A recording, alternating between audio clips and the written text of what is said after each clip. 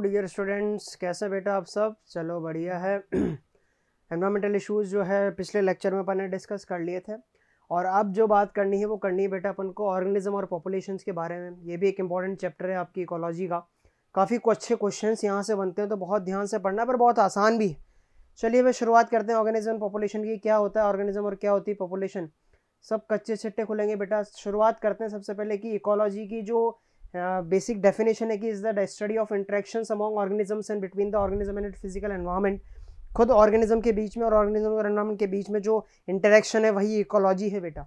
Ecology जो है, चार लेवल पर डील करती है ऑर्गेनिज्म पॉपुलेशन कम्युनिटी और बायोम्स पे। अगर अपन बात करने वाले हैं इस जो है टॉपिक के अंदर वो बात करने वाले हैं बेटा ऑर्गेनिज्म ऑर्गेनिज्म और ऑर्गेनिज्म उसके एनवायरमेंट के बीच में। अगर अपन देखें कि भाई ऑर्गेनिज्म और उसके एनवायरमेंट के बीच में क्या रिलेशन होता है फिजियोलॉजिकल इकोलॉजी की अगर अपन बात करें ecology at the organism level अपन बात कर रहे हैं ऑर्गेनिज्म के लेवल पे बात करें इकोलॉजी की explains how different organisms are adapted to their environments in terms of survival and reproduction कि कैसे वो अलग अलग तरीके से जहाँ जहाँ वो रहते हैं, उसके हिसाब से वो अपने आप को सर्वाइव कर पाते हैं, उनके अडेप्टेशन क्या होते हैं। अगर अपन बात करें कि यहाँ पे the rotation of earth and the tilt of its axis cause annual variation in temperature इस अर्थ के बेटा रोटेशन से दिन और रात रन बनते हैं। और बात करें अपन इसके घूमने से रेवोल्यूशन से बेटा, वहाँ पे सीजनल वेरिएशन आते हैं। उन्हीं की वजह से यहाँ पे कुछ बायोम्स आपके सामने बन चुके हैं बेटा, जैसे कि desert grassland tropical forest temperate forest coniferous forest arctic and alpine tundra आप देख सकते हैं यहाँ पे कि यहाँ पे बेसिकली जो रेनफॉल के जो मेजरमेंट्स हैं वो दिए हुए हैं, जो टेम्परेचर का मेज़रमेंट है वहाँ पे दिया हुआ है। अगर अपन बात करें आर्कटिक और अल्पाइन टुंड्रा की, जहाँ पे ठंडा प्रदेश है बेटा, वहाँ पे रेनफॉल भले ही हंड्रेड या वन हंड्रेड ट्वेंटी सेंटीमीटर तक जा रखी हो एक पूरे साल के अंदर, पर टेम्परेचर माइनस टेन से बेटा ज़ीरो की तरफ़ जो आ रखा है वहाँ पे। अगर मैं बात करूँ डेजर्ट इकोसिस्टम की, बेटा तो डेजर्ट में आप देख सकते हैं कि वहाँ पे एनुअल जो टेम्परेचर है, वो फाइव से लेकर ऊपर सेल्सियस ट्वेंटी से ट्वेंटी फाइव और ऊपर की तरफ़ जा रखा है। पर वहाँ पे रेनफॉल भी कितनी है से फिफ्टी तक लेस देन ये पूरे एनुअल की रेनफॉल की बात हो रही है, बेटा। ग्रासलैंड का अगर मैं ज़िक्र करूँ तो आप देख सकते हैं 50 से 100 तक के बीच में है वो, पर टेम्परेचर की रेंज वो भी डेजर्ट को है, जो है छूने की कोशिश कर रहे हैं। अगर मैं, बेटा टेम्परेट फॉरेस्ट पे आऊँ तो टेम्परेट फॉरेस्ट बेटा जो है बात करें टेम्परेचर रेंज उनकी बहुत ज़्यादा डिफाइंड नहीं है, पर रेनफॉल की रेंज काफ़ी है। 100 से 200 सेंटीमीटर पर एनुअल की अपन बात करें, अगर ट्रॉपिकल की बात करें बेटा तो उनकी रेनफॉल का कंटेंट बहुत ज़्यादा है। टेम्परेचर, एक कॉन्स्टेंट टेम्परेचर वहाँ पर बना हुआ है। कॉनीफेरस फॉरेस्ट का भी यही हाल है कि टेम्परेचर वहाँ पे थोड़ा ज़ीरो से नीचे जाते हुए रेन फॉरेस्ट जो है कम थोड़ी सी वहाँ पे है, मॉडरेट रेन फॉरेस्ट वहाँ पे है। तो ये इसी तरीके से बन गए कि रिवॉल्यूशन किस तरह से हो रहा है और वहाँ पे बायोम्स भी इसी तरफ़ से बन गए हैं। Regional and local variations within a biome leads to formation of different habitats ये हैबिटेट्स आपके सामने मौजूद है।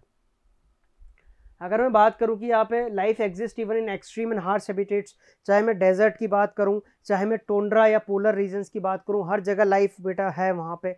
अगर मैं बात करूँ मेघालय की तो वहाँ पे लाइफ है। डीप ओशंस की बात करूँ तो वहीं वहीं पे लाइफ है। पोलर रीजन्स की बात करूँ तो वहाँ पे भी लाइफ है। Our intestine is habitat for many microbes in fact अगर अपनी जो इंटेस्टाइन है, वो भी कहीं माइक्रोब्स का जो है बात करें, एक हैबिटेट रह चुकी है। The physicochemical abiotic components water light temperature soil and biotic components pathogen parasite predators competitors lead to variation of different habitats ये जो बेसिकली बात करें अपन यहाँ पे जो अलग अलग हैबिटेट्स हैं फिजिको केमिकल जो कंपोनेंट्स है वाटर लाइट टेम्परेचर और बायोटिक कंपोनेंट जो हैं ये सब भी बेटा वेरिएशन को जो है प्रमोट करते हैं वहाँ पे हैबिटेट्स को लाने की हेल्प होती है अगर अपन बात करें अबायोटिक फैक्टर्स के बारे में, सबसे पहले वाटर की बात करते हैं कि वाटर का क्या सीन है।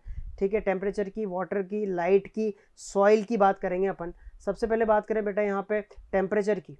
तो most ecologically relevant environmental factor है टेम्परेचर अगर टेम्परेचर के बेस के हिसाब से ही बात करें, वहाँ पे रेनफॉल होती है और वहाँ पे ऑर्गेनिज्म भी उसी हिसाब से स्टेबलाइज होते हैं। Temperature on land varies seasonally seasonally varies होता है।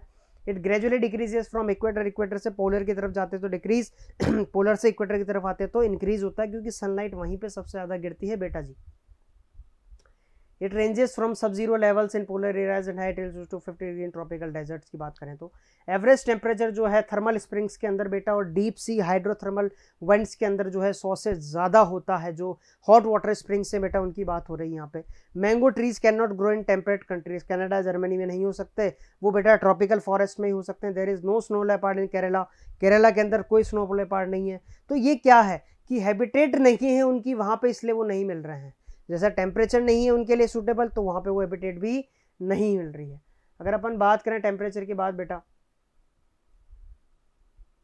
temperature effects kinetics of enzymes enzymes की काइनेटिक्स को काफ़ी इफ़ेक्ट करता है बेसल मेटाबॉलिज्म को और फिजियोलॉजिकल फ़ंक्शन को, एक ऑर्गेनिज्म की इन सारी चीज़ों को इफ़ेक्ट करता है।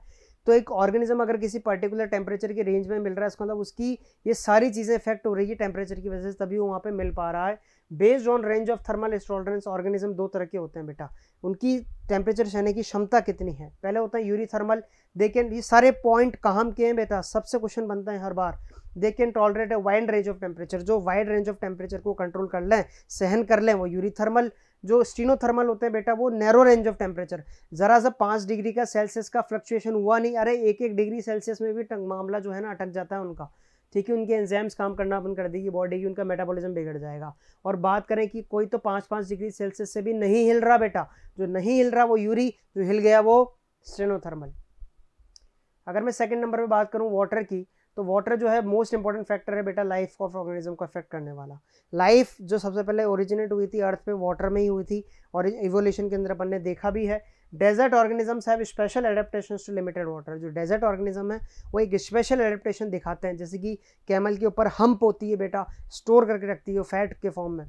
Productivity and distribution of plant is dependent on water जो प्रोडक्टिविटी है और प्लांट्स का डिस्ट्रीब्यूशन है, जैसे कि ब्रायोफाइट्स और इनकी तो बेटा पॉलिनेशन वगैरह ही किसकी जर्मिनेशन या रिप्रोडक्शन ही किसकी वजह से हो रहा है वाटर की वजह से हो रहा है। तो वहाँ पर डिस्ट्रीब्यूशन और प्रोडक्टिविटी सब वाटर पर डिपेंड कर रही है।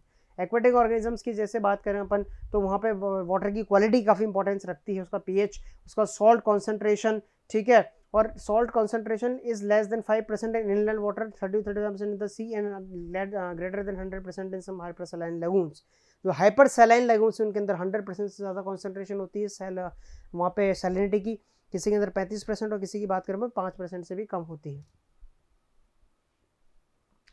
अगर अपन बात करें यहाँ पे बेटा बेस्ड ऑन द टॉलरेंस जैसे टेम्परेचर पे टॉलरेंस की बात करी थी, वैसे यहाँ पे भी टॉलरेंस की बात करेंगे। बेस्ड ऑन द टॉलरेंस अपन बात करें तो यहाँ पे सेलिनिटी दो तरह के होते हैं, यूरियल लाइन वही मैक्सिमम रेंज ऑफ़ सेलाइनिटी वो झेल लेंगे और बात करें स्टोन लाइन वही जो है थोड़े में ही निमट जाएँगे बेटा। Many fresh water animals can not live for long in sea water and vice versa because of the osmotic problems इसीलिए बेटा मरीन जो लाइफ होती है ना, वो तो सी में रह, वो तो रिवर में रह सकती है, पर रिवर जो है फ्रेश वाटर वाले जो हैं, वो समुद्र में नहीं रह सकते क्योंकि ऑस्मोटिक जो प्रॉब्लम वहाँ पे आने लगेगी। ठीक है बेटा सॉल्ट उनके अंदर जमा होने लगेगा और वो निमट जाएँगे बेटा वहाँ पे। प्लांट्स नीड सनलाइट सनलाइट की बात कर रहे हैं अपन थर्ड फैक्टर आ चुका है। प्लांट्स को फोटोसिंथेसिस से सनलाइट की ज़रूरत पड़ती है बेटा। शॉप्स और हब्स जो हैं, वो लो लाइट इंटेंसिटी में भी काम कर लेते क्योंकि ज़मीन पे उगते हैं बेटा, ऊपर प्लांट है, उनकी अगर शेडो से छन के कुछ लाइट आ रही तो उस लाइट में भी काम चला लेंगे वो तो। ठीक है, उनकी आदत होती है। Many plants depend on sunlight for photoperiodism ये पढ़ा है अपन ने बेटा प्लांट फिजियोलॉजी के अंदर। Many animals use the diurnal and seasonal variation in the light intensity photoperiod for timing ये अपन ने देखा है। ठीक है? वर्नलाइजेशन देखा है फ़ोटो पीरियड जब वहाँ पे देखा है फ्लावरिंग एक्टिविटी वहाँ पे देखी है, वो सब बात कर रहे हैं अपन। Sun is the ultimate source बेटा। सन ही अल्टीमेट सोर्स है लाइट और टेम्परेचर का लैंड पे। अगर ओशंस के अंदर बात करते हैं बेटा अपन तो डीप ओशंस के अंदर जो एनवायरमेंट है वो डार्क होता है, एनर्जी वहाँ पे सन की अवेलेबल नहीं होती। तो वहाँ पे बेसिकली क्या होता है the spectral quality of solar radiation also important for life भैया, पार के अंदर ही फोटोसिंथेसिस होगा ना यार।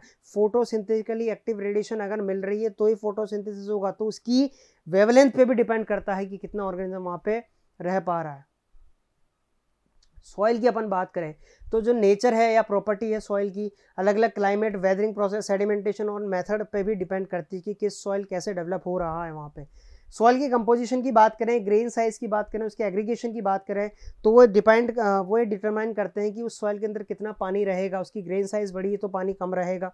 अगर बात करें कि एग्रीगेशन या फिर कॉलॉइड बना रखा है तो पानी रुकेगा, वरना तो बेटा सैंडी सॉइल है तो वहाँ पे पानी नहीं रुकेगा। These characteristics and parameters like P H mineral composition and topography determine the vegetation and animals in an area उसमें कितना ह्यूमस मिल रहा है? अब ऐसा कोई प्लांट है जो रिच ह्यूमस में ही ग्रो होता है तो बेटा वो रिच ह्यूमस में ही ग्रो होगा। वो छोटे मोटे मिनरल कंटेंट में तो ग्रो हो ही नहीं सकता। और यही क्या है बेटा? यही उसका क्या है? बेसिकली अफेक्ट करने का तरीका है कि किस तरह से अफेक्ट करता है aquatic environment the sediment characteristics determine the type of benthic animals मतलब जो नीचे ज़मीन में मिलते हैं शेलो में मिलते हैं। रेस्पॉन्सेज टू अबायोटिक फैक्टर्स किस किस तरह से ऑर्गेनिज्म अपने आप का रेस्पॉन्स शो करते हैं अबायोटिक फैक्टर्स के लिए? Organisms maintain a constant internal environment homeostasis बाहर चाहे कुछ भी घटना घट जाए, हमें अपने अंदर स्थिरता रखनी है। अपना एनवायरनमेंट अंदर का बॉडी का टेम्परेचर हुआ प्रेशर हुआ पीएच हुआ, कुछ भी हुआ वाटर कंटेंट हुआ सब मेंटेन रखना है। उसी को बेटा अपन होम्योस्टेसिस कहते हैं। This is possible by following process किस किस तरीके से हो सकता है? ये रेगुलेट कर सकते हैं कंफर्म कर सकते हैं माइग्रेट कर सकते हैं। अब क्या क्या होती है? जो रेगुलेट कर सकते हैं, उनको अपन कहते हैं बेटा रेगुलेटर्स ठीक है? रेगुलेटर जो होते हैं, वो अपने आप को क्या करते हैं? होम्योस्टेसिस मेंटेन करते हैं बाय फिजियोलॉजिकल बिहेवियरल मीन्स अंदर का एनवायरमेंट अपन को मेंटेन करना है एक्सटर्नल एनवायरमेंट के इरिस्पेक्टिव में। तीन तरीके से कर सकते हैं रेगुलेट कन्फर्म और माइग्रेट पहला देख रहे हैं कि जो रेगुलेट करते हैं तो उनको रेगुलेटर्स कह देंगे? वो कैसे करते हैं? It ensures constant body temperature thermoregulation constant osmotic concentration osmoregulation कैसे करते हैं? All birds and mammals very few lower vertebrates and vertebrates तो जितने भी रेगुलेटर्स हैं, उसमें सब आगे मैमल्स हम भी बेटा किसमें आगे? हम भी बेटा उसमें आगे रेगुलेटर्स में। क्योंकि बाहर चाहे कुछ भी हो, हमें अपने अंदर का एनवायरमेंट जो है, अपने आप तो कॉन्स्टेंट रखना होता है थर्टी सेवन डिग्री सेल्सियस ठीक है? Thermoregulation in mammals. The success of mammals is mainly due to their ability to maintain a constant body temperature. हम अपने constant body temperature रखते हैं। समर बाहर गर्मी ज़्यादा है, ठीक है? थर्टी सेवन डिग्री सेल्सियस अपने बॉडी का टेम्परेचर होता है, उससे गर्मी बाहर ज़्यादा है तो हम स्वेटिंग करने लग जाते हैं। पर इसका मतलब ये तो नहीं कि बाहर गर्मी ज़्यादा है तो अपना टेम्परेचर थर्टी सेवन से बीस डिग्री पे ले आएँगे अपन। ऐसा नहीं होता। अपन स्वेटिंग कर लेते हैं। रेगुलेशन करने लग जाता है अपन उस चीज़ का। ठीक है? This result in evaporative cooling and brings down body temperature in winter when the temperature is below 37 तो हम शिवरिंग करना चालू कर जाते ताकि गर्मी आ जाए अपन को। ये रेगुलेशन कहलाता है बेटा। तो अपन रेगुलेशन रेगुलेट रेगुलेटर्स के अंदर आते हैं। अगर अपन बात करें थर्मो थर्मो रेगुलेशन की तो थर्मो रेगुलेशन जो है एनर्जेटिकली एक्सपेंसिव प्रोसेस है बेटा। अब स्मॉल एनिमल्स जैसे कि मैं श्रीव्स की बात करूँ, जैसे कि हमिंग बर्ड की बात करूँ श्रीव्स और श्रीव्स और हमिंग बर्ड की बात करूँ तो ऐसे छोटे छोटे जो एनिमल्स हैं, अभी अपना रेगुलेशन कैसे करेंगे यार? प्रॉब्लम कहाँ पे आती है? प्रॉब्लम यहाँ पे आती है कि ये स्मॉल है साइज़ स्मॉल है इनकी। तो क्या करेंगे? They have a larger surface area relative to their volume ये इनकी प्रॉब्लम है। तो क्या करते हैं? ये बॉडी हीट को बहुत जल्दी लूज़ करते हैं बेटा। बहुत जल्दी इनकी बॉडी की हीट जो है वहाँ पे लूज होने लगती है। Then they have to expend much energy to generate body heat इसलिए इनको बहुत ज़्यादा एनर्जी अपनी कंज्यूम करानी पड़ती है रेस्पिरेशन के थ्रू, ताकि ये सबसे ज़्यादा हीट वहाँ पर प्रोड्यूस कर सकें अपने अंदर।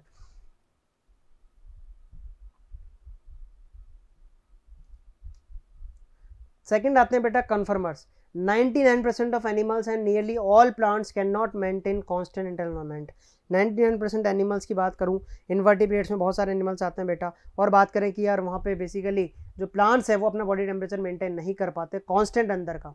तो क्या करते हैं their body temperature osmotic concentration change with the surrounding condition बाहर से जैसे कंडीशन चेंज हुई तो इंटरनल भी उन्होंने चेंज कर लिया। एक्वेटिक एनिमल्स की बात करो तो वहाँ पे बेटा ऑस्मोटिक कॉन्सेंट्रेशन वो चेंज करते रहते हैं अपने बाहर के एनवायरमेंट के हिसाब से। बाहर ज़्यादा हुई तो अंदर भी बेटा उस हिसाब से वो क्या कर लेंगे? बाहर ज़्यादा हुई ऑस्मोटिक कॉन्सेंट्रेशन तो अंदर वो थोड़ा कम कर लेंगे। अंदर ज़्यादा हुई तो बाहर वो थोड़ा कम हो जाएगा। एनसीआरटी का ग्राफ आपको गिवन है बेटा यहाँ पे। माइग्रेट, थर्ड आता है बेटा माइग्रेट। माइग्रेट की अपन बात करें बेटा तो many animals like birds move away temporarily from stressful habitat to more hospitable area and return when stressful period is over मतलब ये बर्ड्स क्या करती हैं? आपने साइबेरियन क्रीन का नाम तो सुना होगा बेटा। केलोदेव नेशनल पार्क भरतपुर, राजस्थान में है। साइबेरियन क्रीन साइबेरिया से उड़ते हुए वहाँ पे आते हैं बेटा। और बात करें कि यार, वहाँ पे जो है बेसिकली रहते हैं वो। क्योंकि वहाँ पे ठंड पड़ गई तो यहाँ पे जब ठंड नहीं है, यहाँ पे ठंड है तो बेटा वहाँ पे ठंड नहीं है। इस वजह से वो मूव करते हैं। जो फोर्थ आता है, वो आता है suspend in bacteria fungi lower plants thick walled spores help to survive unfavourable conditions वो क्या करते हैं बेटा? थिक वॉल्ड स्पोर्ट्स एक्नो स्पोर्ट्स जिसका नाम देते हैं अपन, उनको बना लेते हैं। जब फेवरेबल कंडीशन आती तो बेटा फिर वो ग्रो करने लग जाते हैं। तो यही उनका क्या है? मैकेनिज्म है। इस तरह से वो एनवायरमेंट के अंदर सस्टेन कर पाते हैं। हायर प्लांट सीड्स बनाते हैं बेटा और लंबे टाइम तक अपने आप को वहाँ पर रखते हैं ताकि फिर वो आगे जब फेवरेबल टाइम आए तो वो ग्रो कर पाए। हाइबरनेशन देखते हैं अपन एस्टाइवेशन देखते हैं बेटा डायपॉज देखते हैं। हाइबरनेशन देखते हैं अपन बेटा और बियर जूनिक विंटर विंटर के अंदर हाइबरनेशन कर जाते हैं। एस्टाइवेशन देखते हैं अपन गर्मी के अंदर बेटा सम स्नेल्स एंड फिशेस का, ठीक है? और जब बात करते हैं डायपॉज की बेटा एक सस्पेंडेड डेवलपमेंट की स्टेज होती है zooplanktons in lakes and ponds suspended development मतलब जब तक वो पूरे डेवलप नहीं हो जाते, तब तक वो बाहर नहीं आते। अब बात करेंगे बेटा अपन अडेप्टेशन की। अगर अडेप्टेशन की बात करते हैं तो बेटा अडेप्टेशन एक मॉर्फोलॉजिकल फिजियोलॉजिकल और बिहेवियरल एट्रीब्यूट है, जिसकी वजह से ऑर्गेनिज्म अपने आप को एनवायरमेंट के अंदर रख पाता है बेटा वहाँ पे। अगर मैं बात करूँ कि वो अडेप्ट कैसे करता है मॉर्फोलॉजिकल कर सकता है, वो फिजियोलॉजिकल कर सकता है बिहेवियरल भी कर सकता है। अगर अपन बात करें कैंगेरू रेड का, कुछ एडेप्टेशन बात करते हैं यहाँ पे नॉर्थ अमेरिकन डेजर्ट्स के अंदर कैंगेरू रेड जो है वो क्या करता है? Internal fat oxidation gives water as by product if there is no external source of water desert के अंदर वाटर की कमी है तो कैंगेरू रेड फैट फैट का ऑक्सीडेशन करना चालू करता है, जिसकी वजह से उसको वाटर मिलना वहाँ पे स्टार्ट हो जाता है। वो कर देता है अपने यूरिन को कॉन्सेंट्रेट वाटर को रीअब्जॉर्बेशन बढ़ा देता है तो वहाँ पे वाटर जो है वहाँ पे खत्म हो जाता है। एडेप्टेशन ऑफ़ डेजर्ट प्लांट्स की मैं बात करूँ तो presence of thick cuticle on leaf surface the stomata arranged in deep pits हमने देखा है संकन स्टोमेटा की बात करी है, वहाँ पे थॉर्न्स बन गए थे, उनकी बात करी है। ठीक है बेटा तो ये सब किसकी वजह से होते हैं? ये सब होते हैं बेटा वहाँ पे डेजर्ट के अंदर पानी की कमी की वजह से। एक फिजियोलॉजिकल अपन बात करें बेटा कैम प्लांट्स जो पाथवे होता है, वो भी वहाँ पे वाटर को, वो है स्टोमेटा दिन में नहीं खुलते, रात में खुलते हैं तो ये भी एक वाटर के ट्रांसपरेशन को बचाने का तरीका है।